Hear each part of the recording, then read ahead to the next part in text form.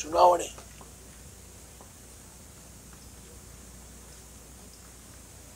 ಯಾರಿಗೂ ಬೇಕಾಗಿದ್ದಿಲ್ಲ. ಆದರೆ ಗೌರವಾನ್ವಿತ ಮಾಜಿ ಸಚಿವರು ಮತ್ತು ಈ ಭಾಗದ ಶಾಸಕರು ಸಿಂಹ ಸಿ ಎಂ ಉದ ಉದಾಸಿ ಅವರ ನಿಧನದಿಂದ ಈ ಚುನಾವಣೆ ಬಂದಿದೆ ಈ ಉಪಚುನಾವಣೆ ಹಲವಾರು ಪ್ರಶ್ನೆಗೆ ಉತ್ತರ ಕೊಡಬೇಕಾಗಿದೆ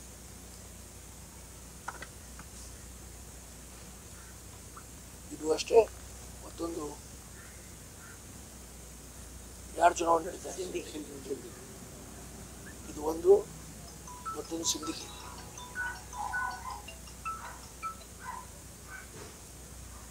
ಕೇಂದ್ರ ಸರ್ಕಾರ ಮತ್ತು ರಾಜ್ಯ ಸರ್ಕಾರ.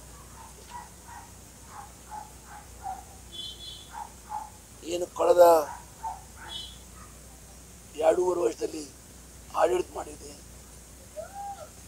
ಡಬಲ್ ಇಂಜಿನ್ ಅಂತ ಏನು ಹೆಮ್ಮೆನ ಹೇಳ್ತಾನೆ. ಆ ಡಬಲ್ ಇಂಜಿನ್ ಬಡವರ ಪ್ರವಾಹ ಕೆಲಸ ಮಾಡಿದೇನು? ಕಾರ್ಮಿಕ ಪ್ರವಾಹ ಕೆಲಸ ಮಾಡಿದೇನು? ರೈತ ಪ್ರವಾಹ ಕೆಲಸ ಮಾಡಿದೇನು?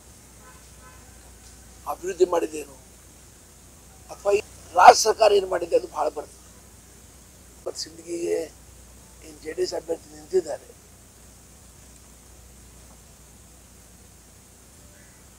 ಅವರು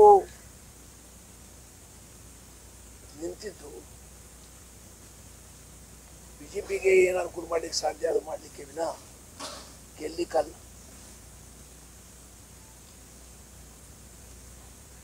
ಹಾಗಾಗಿ ಸಂಕ್ಷಿಪ್ತದಲ್ಲಿ ಹೇಳಬೇಕಾದ್ರೆ, ಜೆ ಡಿ ಎಸ್ಗೆ ಮತ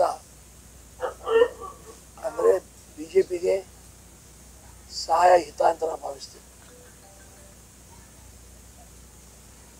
ಹಾಗೆ ಮತದಾರರು ಪ್ರಜಾಪ್ರಭುತ್ವದಲ್ಲಿ ಅವ್ರ ಮತದಾನದ ಹಕ್ಕ ಪ್ರಮಿತವಾದ ಹಕ್ಕ, ಅದು ಚಲಾಯಿಸಬೇಕಾದ್ರೆ ಭಾಳ ಜವಾಬ್ದಾರಿಯಿಂದ ಈ ಕ್ಷೇತ್ರದ ಹಿತ ನಾ ಈಗಾಗಲೇ ಹೇಳಿದಾಗ ರೈತರು, ಕಾರ್ಮಿಕರು, ಕೂಲಿಕಾರರು, ಅಭಿವೃದ್ಧಿ, ಇದು ಯಾರ ಕಡೆ ಮಾಡಲಿಕ್ಕೆ ಸಾಧ್ಯ? ಅವ್ರ ಹಿಂದಿನ ಇತಿಹಾಸ ಏನು? ಇದು ಗಮನದಲ್ಲಿಟ್ಟುಕೊಂಡು ಮತ ಚಲಾಯಿಸಬೇಕಂತ ಮತದಾರರಿಗೆ ನಾನು ಮನವಿ ಮಾಡ್ತೇನೆ ಎರಡೂ ಕ್ಷೇತ್ರದ ಮತದಾರ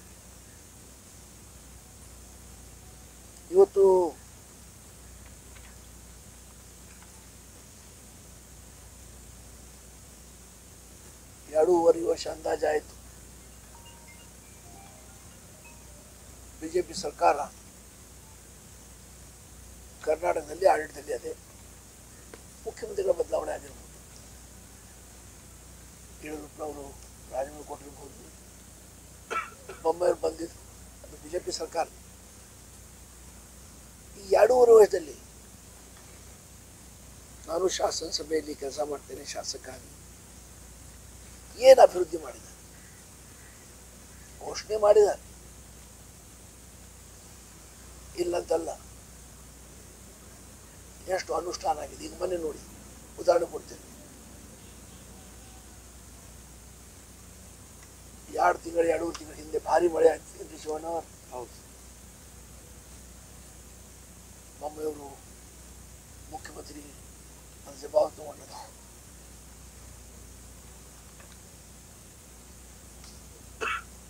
ಬಹಳಷ್ಟು ರೈತರ ಬೆಳೆ ಹಾಳಾದು